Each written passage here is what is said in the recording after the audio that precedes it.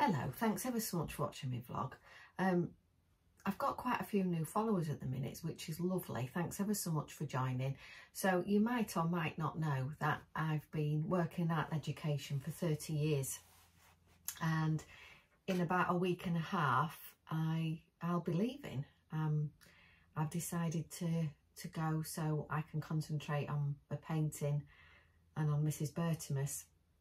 And it's been a tricky a very tricky decision to make. I absolutely love teaching. Um, this this video is is showing you the, the the final end of year art foundation exhibition that our students put on and that I'm very privileged to be part of the team that deliver that course. I absolutely love the Art Foundation course. I think it's a hugely pivotal year in a creative student's life. And I remember when I went to study it uh, about 300 years ago um, it completely changed my life. It opened up my eyes to the fact that you can live creatively and that there are opportunities. And yeah it was it was transformative. And I have been privileged for a fair number of year, years now to have helped uh, as part of an amazing team um, help students on the way. I'm, I'm going to miss all the staff that I work with. Um, this is really hard.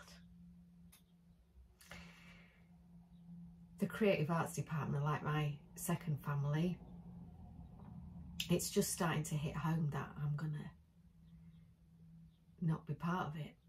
But think it's the right decision. I want to thank all the students past and present that I've taught. I just want to say that I have learned a lot more from you than you ever could have learned from me. And I want to thank you all. Wish you all the very, very best. Um, anyway, before I didn't know I was going to get so emotional. Before I start crying into my cup of tea, um, I'd like you to show you this year's Art Foundation end of year show. It was held at Fountain Arts, um, run by the wonderful Mr. Burkett, who strangely in a cyclical way, as things always happen, was in my very first uh, first year A-level group when I started teaching at the Sixth Form College 22 years ago. Um, and I am immensely proud of everything that he's achieved and immensely proud to be a friend of his. Midi just wants to join in now. There you go. Um, anyway, I'm waffling. I'm going to show you the show. This year's students, you've been amazing really, really well done. We're all so proud of you and I hope you all enjoy the show.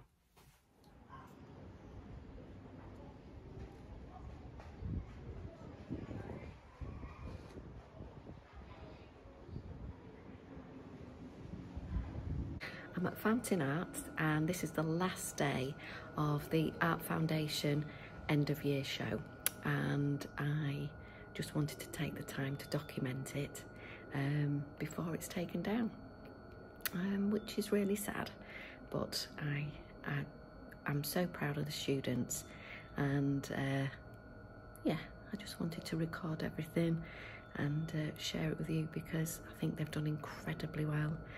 Um, it's a wonderful stage of a student's life just before they go off for employment or apprenticeship, adventures or uni and they've all just been amazing and have, all come such such a long way through sheer hard work and dedication. And well done to you all. And yeah let's have a look. So here I'm right at the back of the gallery in the darkest room which is perfect for projections um, such as this one which has been produced by one of our photography students who has been uh, looking at the male gaze. Uh, and now we're stepping into the main part of the gallery. Right, so this is the kind of back third of the exhibition. Uh, we've got fine art here. This is a series of work about memory and loss of memory. And here we have a diptych about how animals should be honoured and how everything is connected together. How we should honour our ancestors and animals and creatures that enrich our lives. And here is a shrine,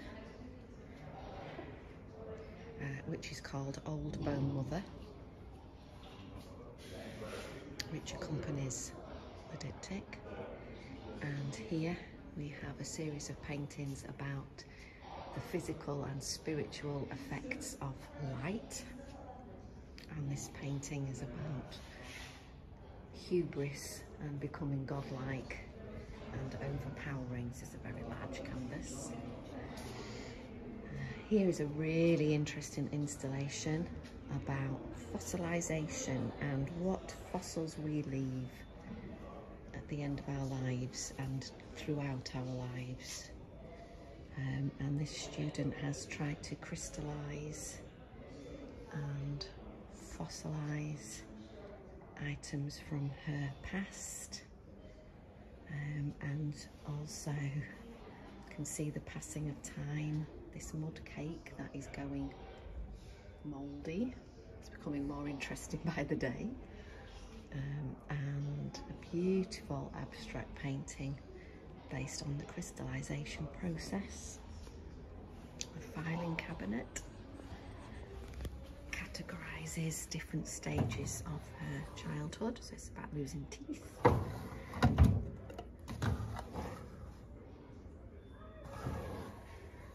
And we have this beautiful solidified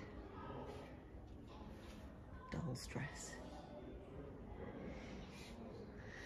Here we have some fashion and textiles based on tattooing, piercing and body adornment, but also became very architectural. Lovely photo shoot.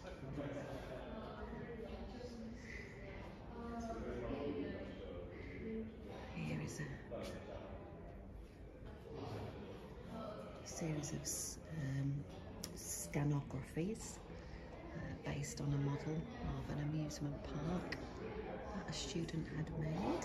Very scary uh, recreation of a primary school classroom, uh, which is the basis of a proposed kind of graphic novel where very creepy things happen. Here is an illustration students' work based on cautionary fairy tales. And the books are beautifully bound and illustrated.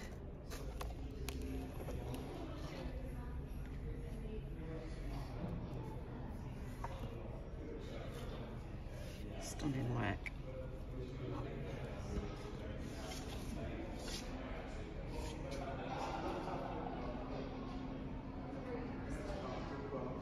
graphic design, uh, com a com community called Ponytails for young people who were interested in horses and want to create their own little group. Um,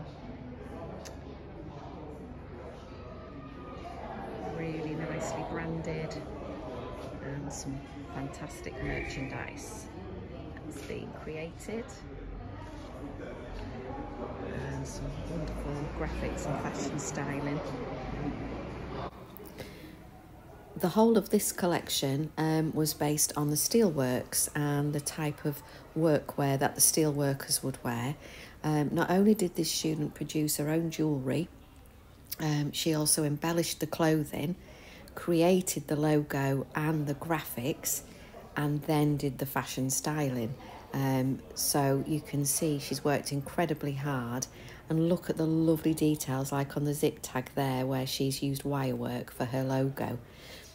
this student was incredibly ambitious. She uh, wrote and illustrated a short story and she made a huge concertina book. We'll see the other side in a minute. And we have really interesting uh, textiles work here, which are weavings based on uh, water pollution.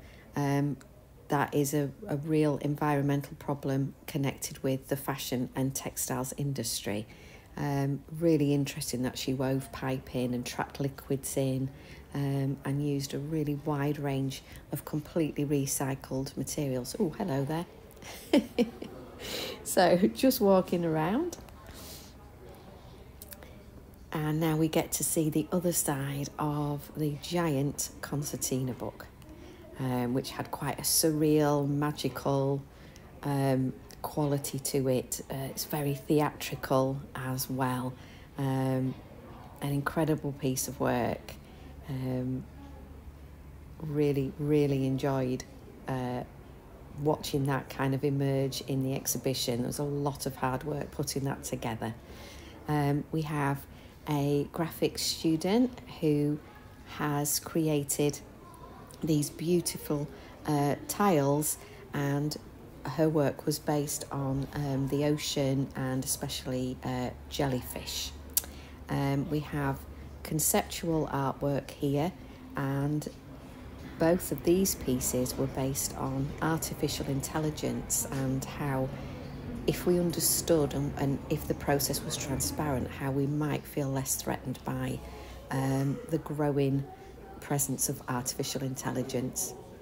Here we have another range of conceptual artwork um, based on uh, relationships and um, how uh, kind of narcissistic qualities in relationships and, and that sense of um, unbalance. She also looked at wordplay. So here you can see she's kind of created a film and an installation based on the saying walking on eggshells. What was really interesting is on the private view, people were literally walking and crushing on the eggshells.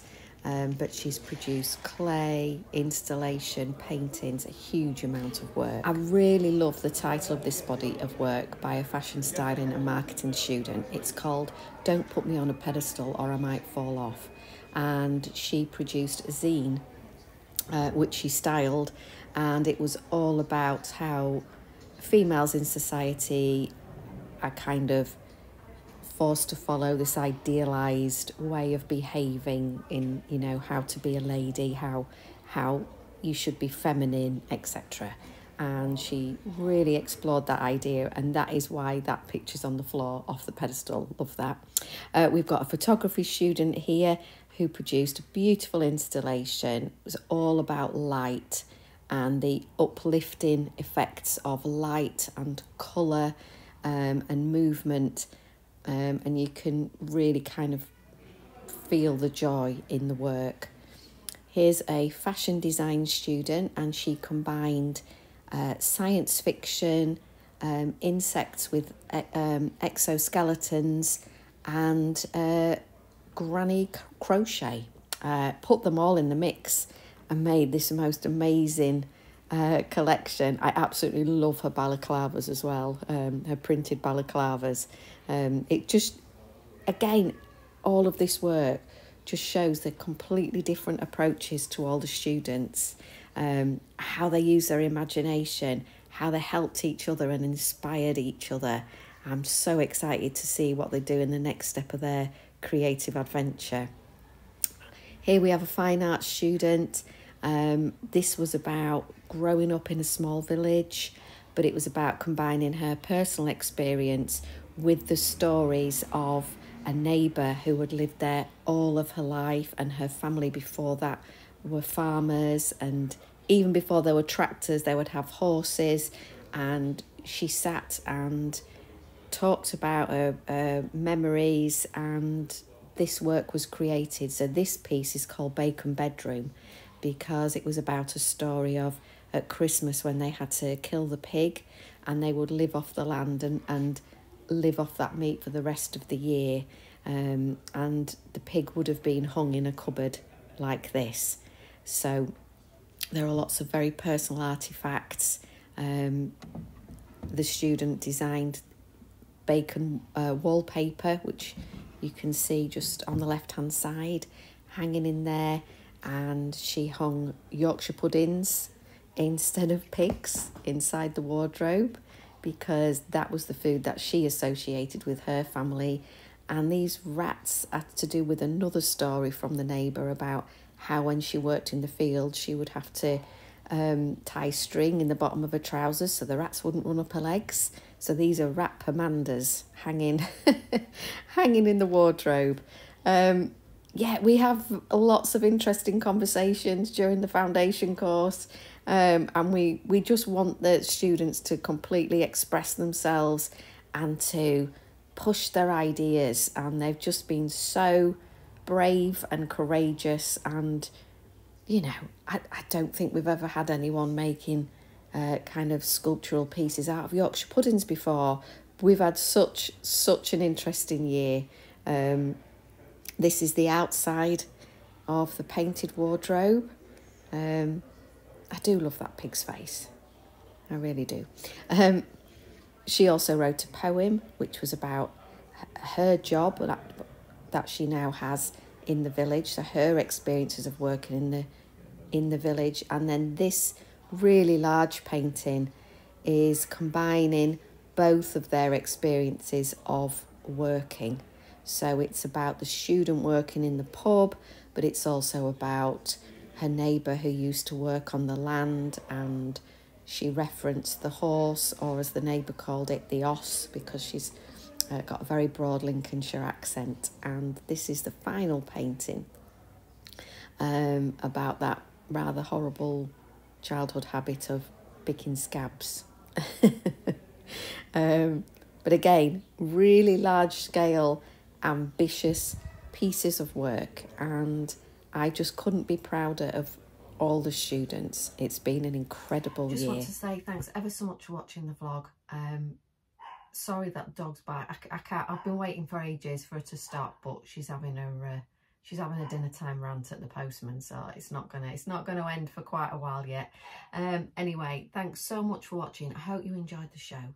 Um, and um, I'm sure you'll agree they've been an amazing bunch of creative students. Um, thank you so much for watching. If you've enjoyed, could you please possibly consider subscribing if you if you won't mind? I feel a bit cheeky asking, but if you enjoyed it, that would be lovely. Um, and hopefully see you soon. Thanks ever so much. Bye.